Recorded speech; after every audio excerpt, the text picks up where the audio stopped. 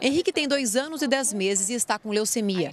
Ele precisa de um medicamento quimioterápico chamado asparoginose, que está em falta. A mãe não sabe mais o que fazer.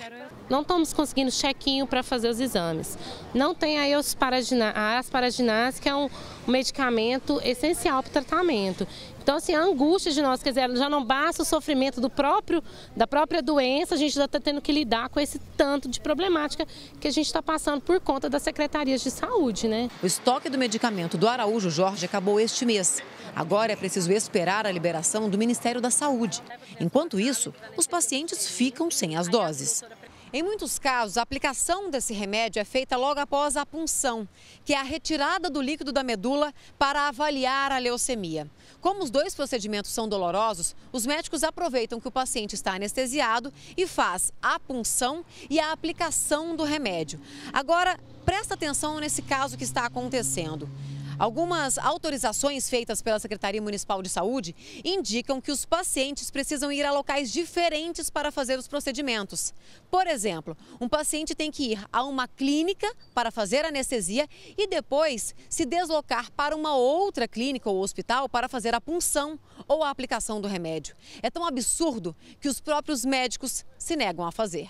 Saiu o check-in, mas só que saiu a, a anestesia e a anestesia geral como, por um lugar, por, lá para o hospital da criança, e eu saí a aplicação do remédio para outra clínica e não tem condição, igual a médica falou, não tem nem cabimento de fazer isso, porque ela pode, pode acontecer um desastre no caminho com ela. Por que, que não volta tudo como era antes? Tirava o check-in aqui no Hospital Araújo Jorge e fazia aqui mesmo. Agora não, a Secretaria de Saúde dificultou que a gente tem que eu no meu caso tenho que ir na minha Secretaria de Saúde do meu município, pegar o check-in, voltar e ir para onde é destinado. Pulsão em um lugar, anestesista em outro. Isso não existe, não tem como fazer um tratamento desse tipo. E é assim, quando o paciente consegue fazer um procedimento, pode esperar, que logo vem outra dificuldade. Foi o que aconteceu com a Lara. Ela fez a punção, agora tem que passar por mais uma sessão de químio.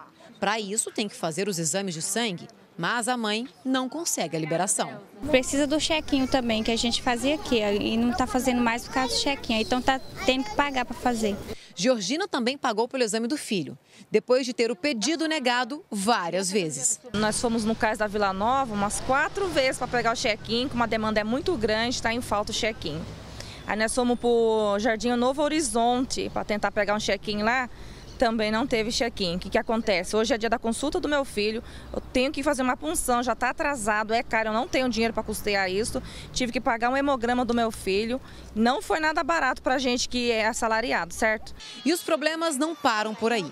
Além da dificuldade para conseguir fazer exames, o antigo chequinho, da falta de medicamento e dessa confusão de liberar procedimentos em locais diferentes, tem paciente que estaria sendo recusado pela Secretaria Municipal de Saúde.